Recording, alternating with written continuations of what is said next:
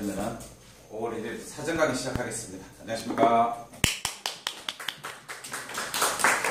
어, 오늘은 그 과연 박재강 선생이 쓰신 진심록 부도지가 어디에서 쓰여졌을까 그거를 그냥 제가 이렇게 어, 추적해본 자료입니다. 여기에 무궁화 또 얘기가 나와요. 저번 주에 우리 민족의 꽃은 무궁화가 아니라 진달래, 창꽃, 마화, 천지와 진달래인 것 같다고 제가 설명을 드렸습니다. 이 천지와 진달래는 뭐 한라산에서 백두산, 뭐 동북 삼성 전체를 봄에 뒤덮는 우리 민족의 꽃이다 그렇게 설명을 드렸어요. 근데 어, 신라를 근화향의 나라라 그래가지고 신라에 무궁화 꽃이 많은 걸로 이렇게 기록이 되어 있습니다. 왜 그러냐? 그 이유가 있다. 그래서 이거는 이제 삼국사기 신라 봉기의 일식 관측지를 서울대 천문학과 학과장 하시던 박찬동 교수가 추적을 해본 겁니다. 그러면 초기 과연 7세기 이전의 신라의 수도는 어디 있었을까? 일식을 제일 잘 볼 수 있는 지역에 그 나라에 수도가 있었다는 게 고천문학에서는 일, 반적으로 사용되는 방법이라고 합니다. 그래서 삼국사기 신라분기 시조 혀끝의 거서간 이 거서간이라고 하는 것은 부도지에 정확히 뜻이 나온다고 제가 설명을 드렸죠. 사도를 행하는 서쪽 무리들을 한족을 경계하고 부도를 지키는 방어장을 말한다.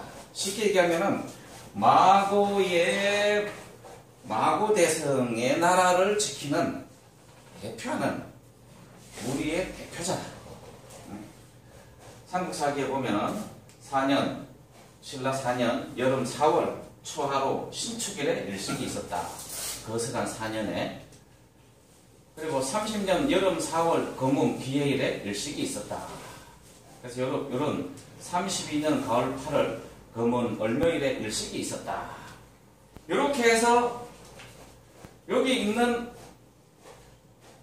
삼국 사기 신라 분기에 나오는 일식 기록들을 하나하나 이렇게 이제 분석을 해본 겁니다.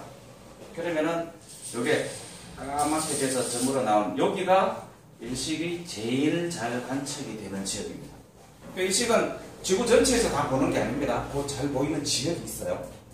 그래서 이거를 두 번째는 하니까 요 신라 이게 최적 관측지가 양자강 이남으로 나옵니다.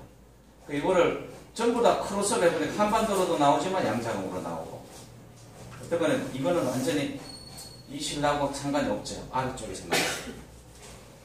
그래서 지금 추정이 되는 곳이 신라의 주요 관측지가 바로 여기로 나옵니다.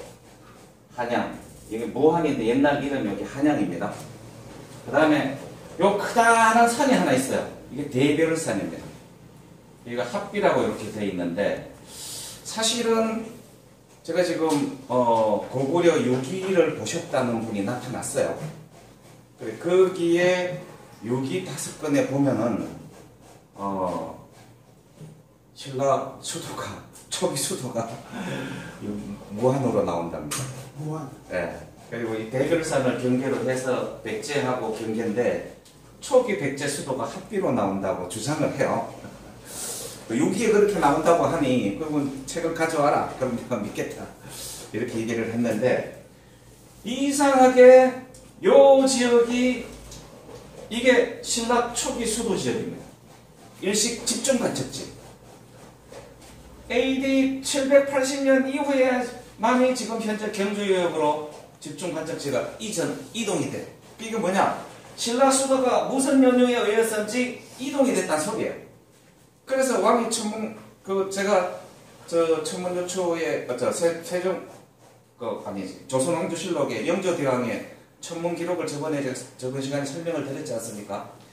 그러니까 왕 곁에 천문관이 천문을 바라보는 천문관이 있어야지만이 이거는 정확하게 기록이 가능한 거예요. 그리고 백제는 이 바레만 유역으로 나오고 고구려는 더 북쪽 울란바토르 지역으로 나옵니다. 이거 보세요. 여기가 정확히 요 지역이에요. 요 지역으로 나옵니다. 그렇게 그렇다면은 삼국사기 신라 봉기에 나오는 일식 관측지로 본 신라의 수도는 바로 이 지역이다.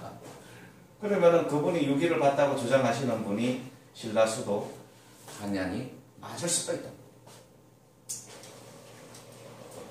자, 그러면 도대체 신라가 건국될 당시 수도는 어디고 현재 경주가 신라 천년 역사의 고도가 맞냐?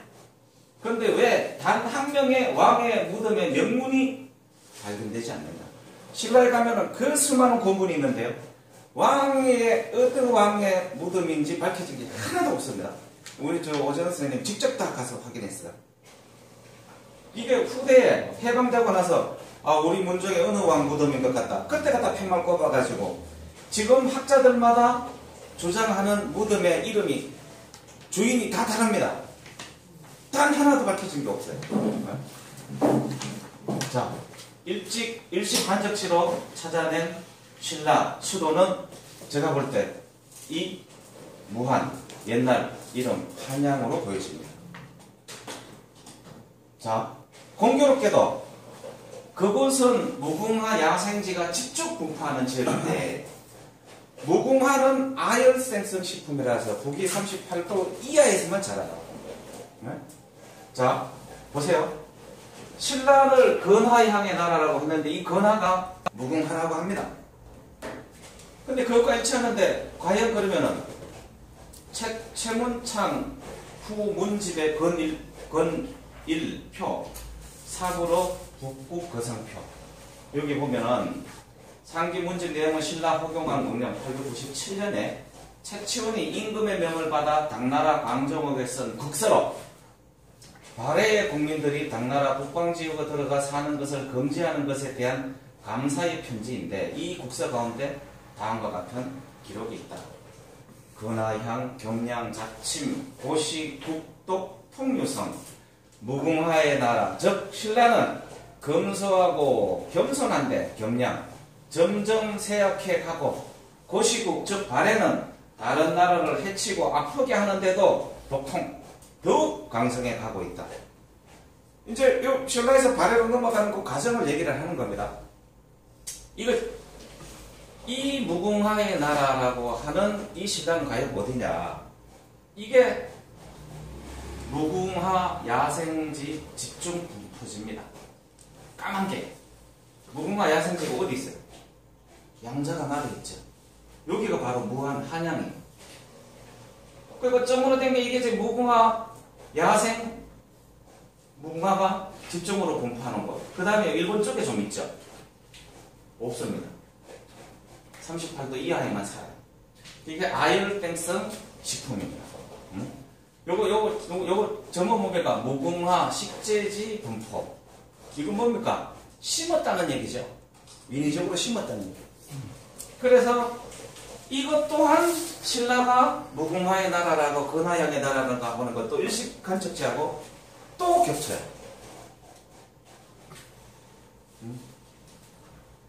하대 신라는 분명히 여기로 옵니다. 그러면 무슨 이유인지 모르겠지만 왕족들이 여기로 이주를 했어요. 지금 경주로. 자, 또 한 가지. 중국의 양만년이라고 하는 여류학자가 초나라 후예들이 한반도로 이주해서 신라를 극복했다고 하는 논문을 냈어요. 이유가 뭐냐? 자, 봐요. 여기 옛날 이름이 한양입니다. 모한으로 바꾸기 전에.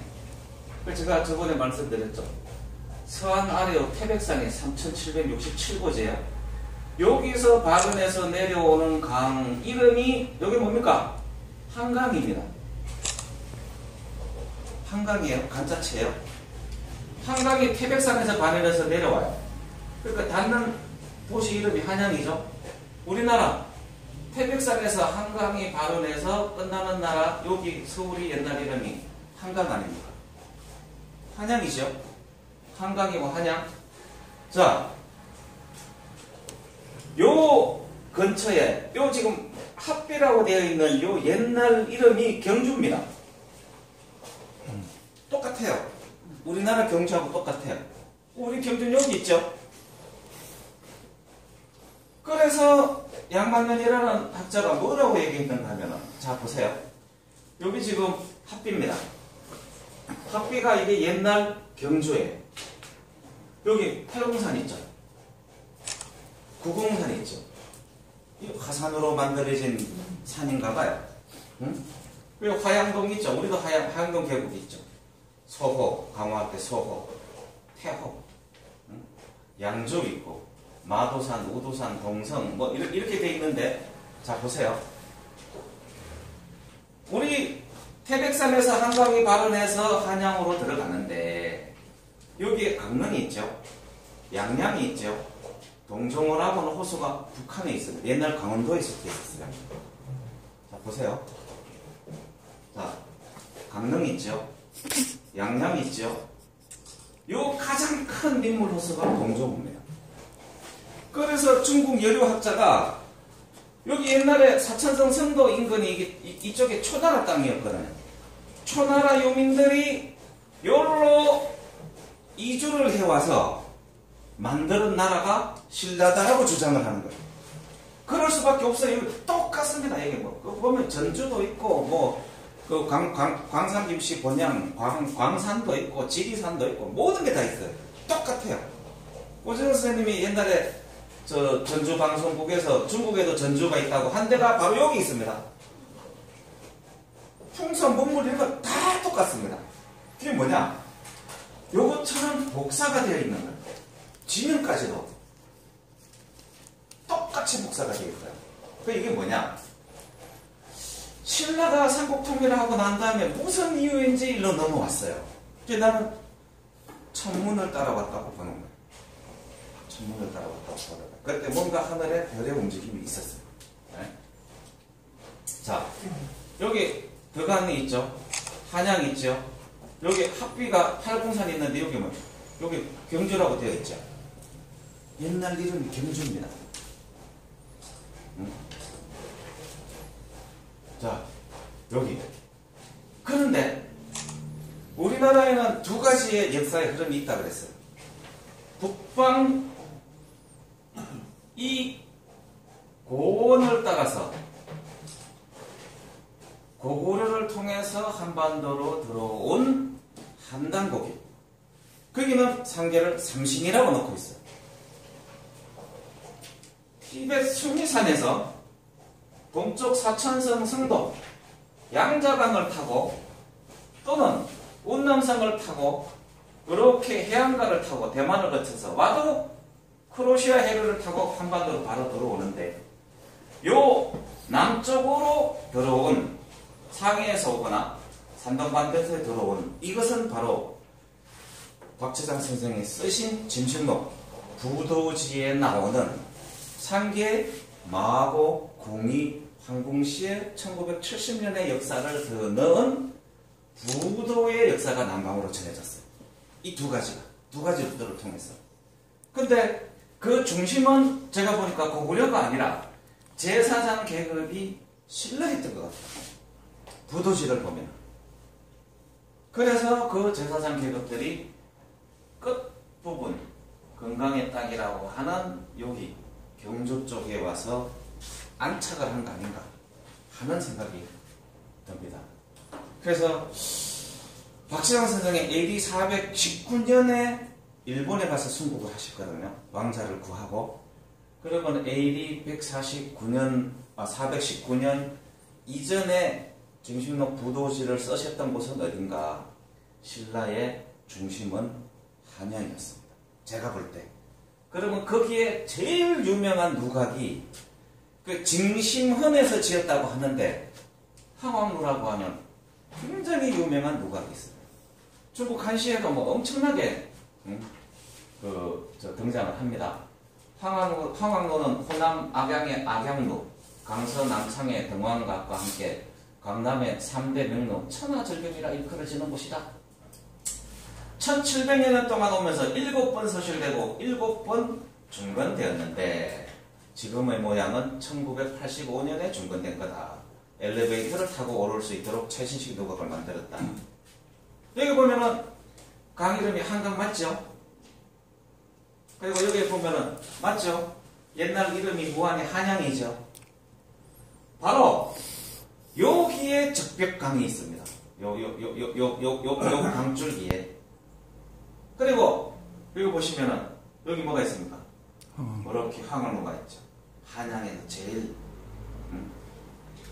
그래서 제가, 아, 이게, 혹시 이게 정신문하고 관련이 있지 않을까라는 생각을 가지고 있어요. 왜?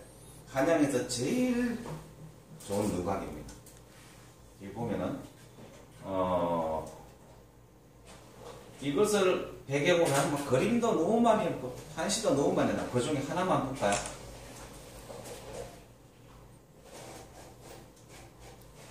황항 최고. 옛날의 신선은 이미 황학을 타고 날아가 버리고 지금 이 땅에는 그저 황학로만이 남아있다. 황학은 신선을 태우고 간 뒤 돌아올 줄 모르고 흰 구름만 천년 동안 변함없이 하늘에 떠있다. 맑은 양저강 건너편에 한양거리 나무들 보이고 강 가운데 앵무주에는 향긋한 풀이 무성하다. 해지고 고향은 대체 어디에 있을까 둘러보니 저녁한 게 서리고 시름만 더해진다. 그래서 이 황홍로를 보면은 삼국시대 오나라 성건시대 이곳에 신씨라고 하는 사람이 주막을 하고 있었다. 어느 날 노인이 찾아와 술을 한 잔 달라고 하여 한 잔을 드렸더니 더 큰 잔으로 달라고 하여 여러 잔을 마시고는 돈도 내지 않고 떠났다. 며칠 후에 또다시 찾아와 술을 달라고 하니 신씨는 실은 개색이 없이 계속 술을 주기를 6개월이나 계속되었다. 그러던 어느 날 그동안 밀릴 숟값을 갚겠다고 하면 노란 귤 껍질로 벽에다가 학을 그리니 황학도가 되었다. 송벽을 치며 노래를 부르면 학이 튀어나올 터이니 이것이 그동안의 술값이다 하고 떠났다. 그러자 신씨는 손뼉을 치고 노래를 하니 정말로 벽에서 노란 학이 튀어나와 춤을 덩신덩신 추는 것이었다. 이 소문을 듣고 많은 손님들이 찾아와 신씨는 돈을 많이 벌게 되었다. 이 신선이겠지 어떤 이 노인은 10년 후 노인이 다시 나타나자 술을 대접하려고 하니 술은 필요 없고 학을 데려갔다고 하면서 피리를 보니 노란하게 나타나 구름 위로 헐헐 날아가고 나서 다시는 나타나지 않았다. 순식간에 일어난 일을 보고 신씨는 주막을 헐고 그 자리에 정자를 지어 노인과 학을 기리기 위해 황학루라고 이름을 지었다고 한다. 그 노인은 비문이라는 선인이었다고 전해진다. 그후 황학루는 오나라 시절에는 파수대 역할을 하기도 하면서 오늘날까지 수많은 문인이 찾아와 시를 남기고 갔는데 당나라 시인 최고의 황학루가 제일 유명하다.